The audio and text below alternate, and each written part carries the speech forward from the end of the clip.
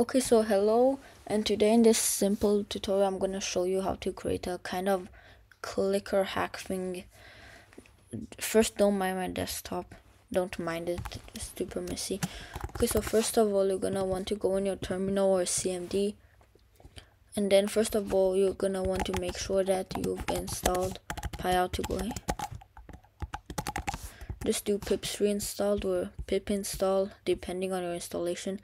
Um, but I already have it installed so I'm not gonna install it again. So if you have it then just do that yeah. And now I'm gonna want to get into our IDLE and I'm just gonna show you something very simple. Yeah. And now do while true pyautogui dog click. And let's um open a clicker game thingy. I have this piggy bank money clicker thing so I'm gonna use it.